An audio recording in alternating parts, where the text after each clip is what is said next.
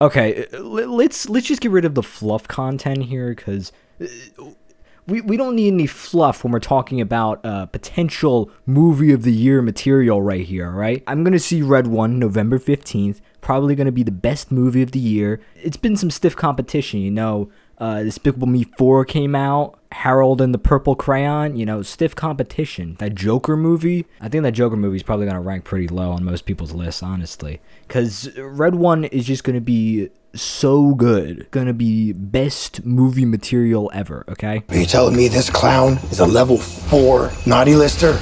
A level four Naughty lister? Oh, is that funny to you? Now, some of you might be saying, What is Red One? To which I say, Are you even a real human being? Because Red One is the most highly anticipated movie for November 15th. There's no other important movies premiering on November 15th. Red One is going to be the only one to exist ever in November 15th. Okay, so so let's look at let's look at the cast for this movie because as we know, the cast is the most important part of a movie.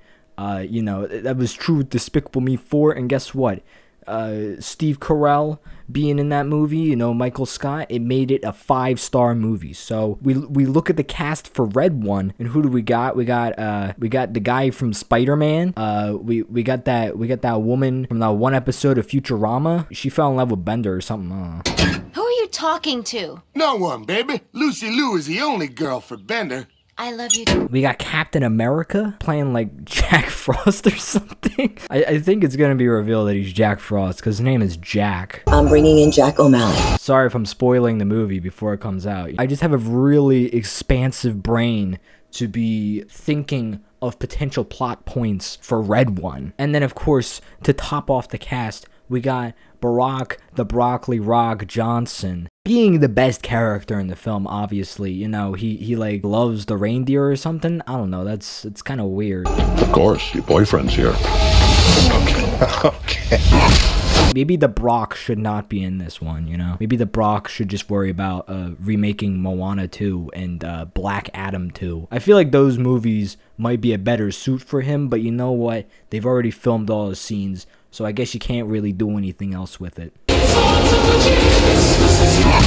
What I'm really waiting for is this to be the first film in the Red One cinematic universe. You know, uh, who, who's to say that we're not also going to get a green one or uh, a, a red one too? Maybe this movie will even be in the Christmas Chronicles universe. You know, we'll get uh, the guy who played Snake Plissken, uh, Snake from Metal Gear Solid. Snake, you know who that is? You're kidding, right? It's a level four naughty lister. Okay, okay, okay, okay. Okay, let, let's be serious here now. Let's be serious here now. The Red One movie trailer is one of the best movie trailers ever made. Someone took Nick. So, so let's go over the plot from the trailer, okay? So, Santa Claus is kidnapped. How did they do this? I have no clue. Santa Claus has like a top secret military base. He is jacked. How is he kidnapped? I don't know. He is. So anyway, Santa Claus is kidnapped, and then Dwayne the Brock Rock, Broccoli Broccoli, Broccoli, Rockledge, Stone Johnson comes over and he's like, "Oh my God, they stole Santa Claus!" And then we got the lady from that one episode of Futurama, and she's like, "Hey, uh, Jack, Jack Mallet Face, something. I don't know. I think that's his name." I'm bringing in Jack O'Malley.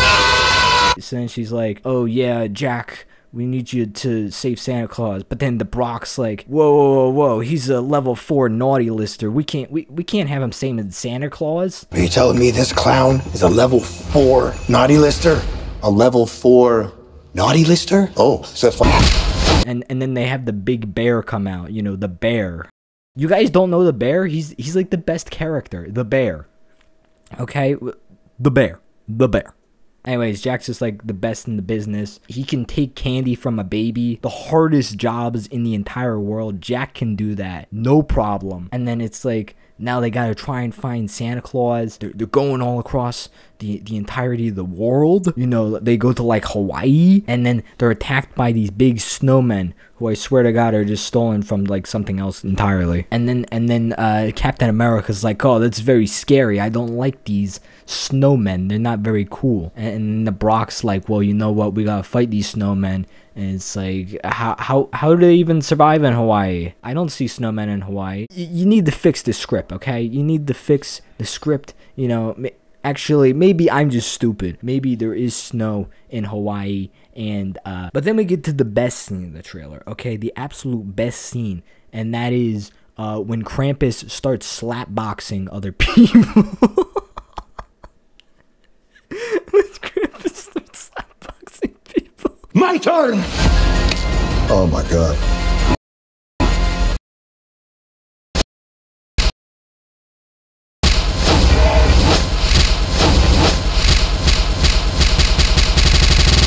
Interesting.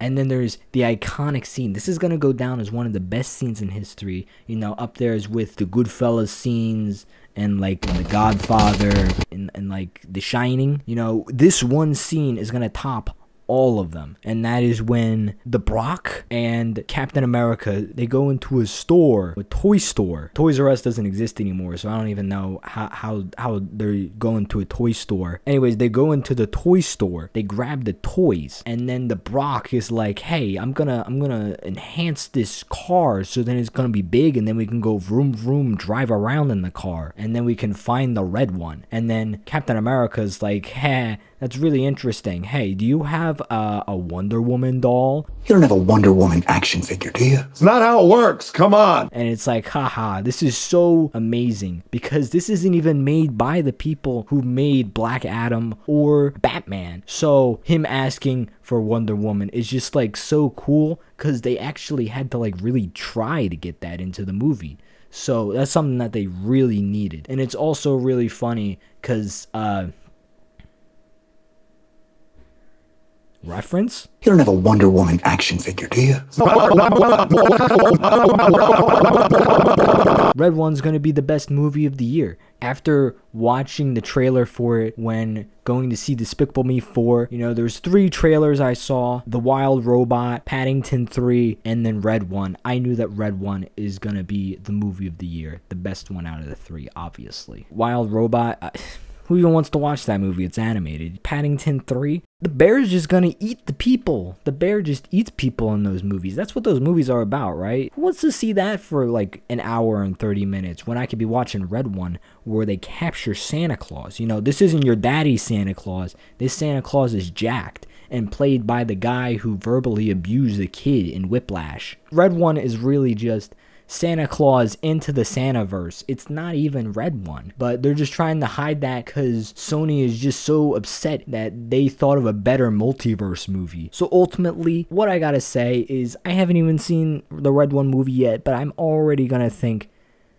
it's five stars. It's five stars already. Even when the movie comes out, I don't think my opinion will change at all. It's still gonna be five stars. It's probably gonna be nominated for an Oscar and uh, an Academy Award and a Pulitzer Prize and uh, a Medal of Honor and uh, and then the president's gonna be like, "Oh, I, I really like this movie. This is the best movie ever made." You know, George Washington's gonna come out of the grave and be like, "You know what? I came out of the grave to see Red One, and it was not a disappointment. It's the best movie I've ever seen." And you know what? I can die again happy knowing that Santa Claus finally became J.K. Simmons.